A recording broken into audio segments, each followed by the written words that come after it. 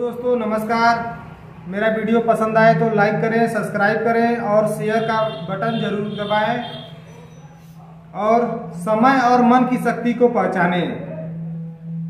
रहस्यमयी, विचित्र चीज़ है कि आप अपने समय और मन की शक्ति को कभी नहीं पहचान सकते हैं।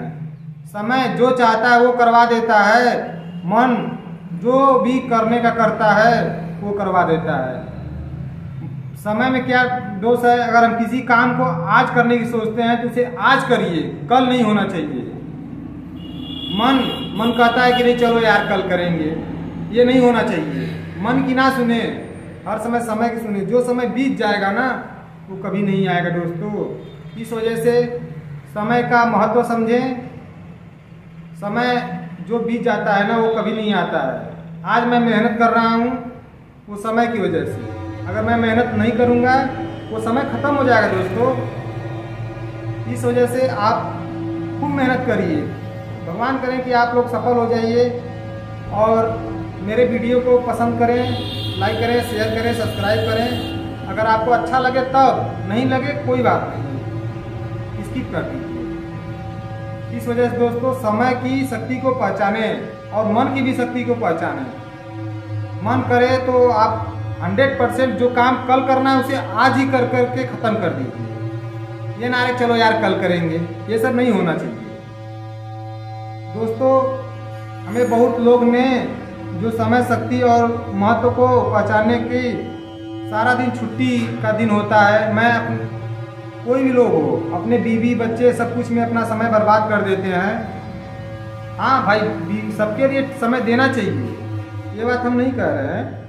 कार्यशाला, स्कूल पार्ट आदि सभी चीज़ में समय बिताते हैं और बैठे रहते हैं।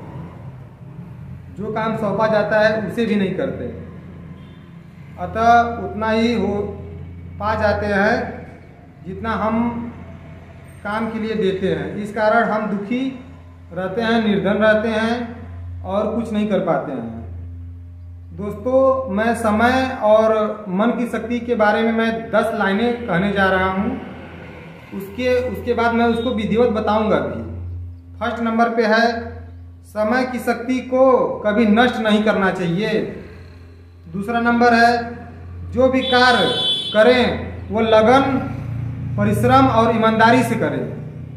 तीसरा नंबर पे, व्यापार, दुकानदारी, का, कार्यशाला में कार्य ऑफ़िस में कार्य आदि के लिए समय निर्धारित कर ले।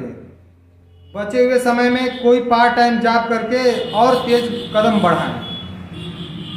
चौथा नंबर पे चोरी, चकारी, झूठ, मक्कारी, धोखेबाज, दूसरों को हानि पहुँचाने आदि के विचारों को खोदकर धरती में गाड़ दे। संस्कार को तन, मन, धन से सहयोग दें, क्योंकि सरकार को सेवा देश की, सेवा देश की सेवा है। व्यर्थ में इधर उधर बैठे नहीं, गपशप करें नहीं, आलोचना करके समय को नष्ट न करें। व्यर्थ में इधर इधर उधर न बैठे। सातवें नंबर पे है, प्रत्येक कार्य को तब शुरू करें, जब तक यह समझ ले कि हमें इस इसमें असत्य कुछ नहीं है।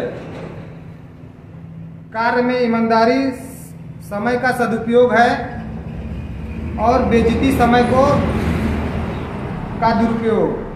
आठवें नंबर पे है, साथी, कर्मचारी और कभी उल्टी सीधी सीख न ले। न ले, न किसी को दें। और कोई भी कार्य करें, अपनी शक्ति से करें, दूसरों पर निर्भर नहीं रहना चाहिए। ठीक समय पर उठे बैठे, बात करें और टाइम से सो जाएँ।